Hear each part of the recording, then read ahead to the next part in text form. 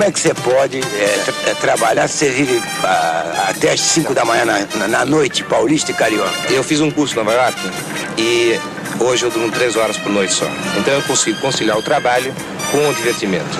Ô Chiquinho, playboy, pra ser playboy você tem que ser bonitão, tem que ter mulheres famosas, não é qualquer uma mulher. Qual foi a mulher famosa, mulher mais famosa que você saiu com ela? Bom, não vamos falar em termos de Brasil, tá certo? Vamos falar em termos internacionais.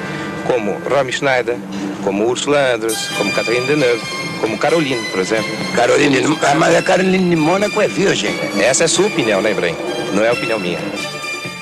Ô Chiquinho, qual foi aquele caso famoso, uma mulher de Cidade Paulista, ah, casada, que o marido quis te dar um tiro? Como é que foi aquela história?